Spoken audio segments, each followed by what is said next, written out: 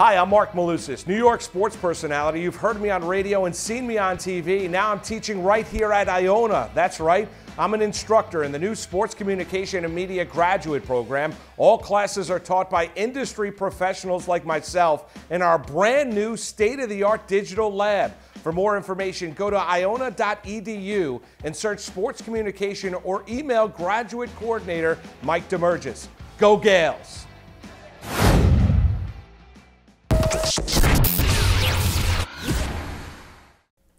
Hey everyone, Mike Damergis here from the graduate program in sports communication and media at Iona College. Thank you for taking the time to click on this video. These are unique times in American history and everybody's got to stay strong and stay positive. Like many colleges and universities, Iona has gone online for the spring semester. This has created other opportunities though to bring in special guests. For the sports communication program, we brought in Dan Shulman, the famous play-by-play announcer for ESPN and the Toronto Blue Jays. He had some great advice for our sports communication class. Just listen. There are more opportunities because the program isn't as big. And Mike should never have to nudge you guys to get involved. If you guys want this, go get it. Like nobody's gonna. I, I, I don't want to be a like the voice of doom here. Nobody's gonna give you anything in this industry, guys. You got to go get it. But if you go get it and work hard and show up with enthusiasm and attitude and energy and ideas, that will get rewarded. I promise you that creativity and energy will get re- rewarded if that's what you bring to the table every day. Like you talk, you see some guys get praised um, during baseball games, in like a big moment, like a walk off, or um, like somebody clinching a, a, series where they kind of uh, just go quiet and they let the crowd take effect. What is your advice for that? And like, when's the best time to do that?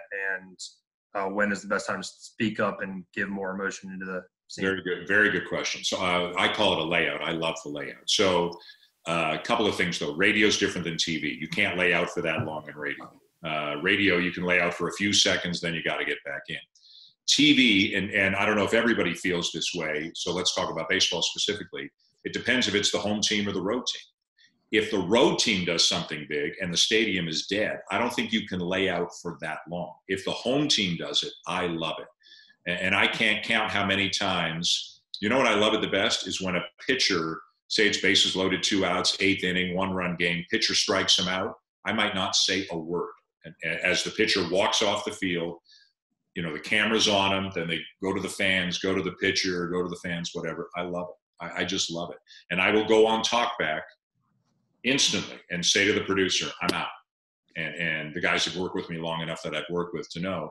And eight seconds may feel like an eternity, but I think it's beautiful television. I, I really do it's you, you know the the hair on the back of your neck stands up when something like that happens. So I it's different radio TV, it's different home road, but I'm a big fan of it. I, I'm also a big fan just of broadcasters in general letting it breathe a little bit. You don't want to just pound away at people constantly. I think it's exhausting for the viewer. Uh, I do it in basketball sometimes too. Again, a big basket uh, at the end of a run for the home team. You see the other coach go like this. I need a timeout don't say a word, man. You're five seconds to break. Let it go for five seconds. Um, I, I, love it. So I, am a big fan of it. I, I, think sometimes less is more when you're a play-by-play guy. And I think that's a really good example. That's a good question. Okay, thank you, Brian. Let's go to Matthew George. Matthew is a undergraduate. He's getting his uh, senior year squashed here. Um, actually graduated in December, so this is your first year of graduate school. Uh, yes. he's, he's done play-by-play for ESPN Plus uh, women's basketball. Go ahead, Matthew. Hey, Ann, how's it going? It's going great, Matthew. How about you? Good, good. Um, so, how much preparation do you do for each entire game? Because when I've been doing a lot of um, when I've been doing a lot of games, I, I don't know how much prepping I should do because obviously play by play is always on the fly, and yeah. you have to come outside with a head. And I'm, I'm uh, for ESPN Plus at Iona. Um, yeah. we've done I've done mostly the analyst part of it not the not the play by play. So I'm just wondering the preparation work that comes into it because I used to do like a lot of like um, paperwork and all that kind of stuff relating to like stat line to um, to like their history between the two teams and all that kind of stuff.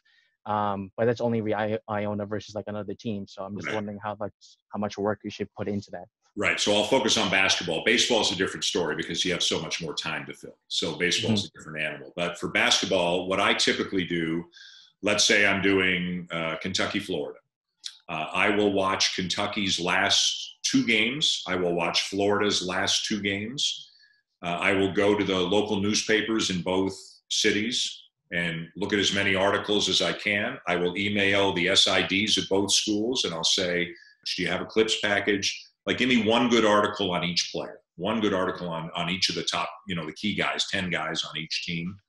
Uh, and then you go to practice when you get into town and you've got game notes. And I assume you have game notes at your disposal for Iona Exactly. and Siena Mhm. and whatever. So Mhm. um, I will usually look at the game before game notes because the game of game notes don't come out till like the day before. Uh, Mm. And I like to have a little bit more information. So what I'll do, I'll do my my chart, and I'm sure you have some sort of a chart that you have with you when you do the game. I'll do the chart with the the rosters and the stats.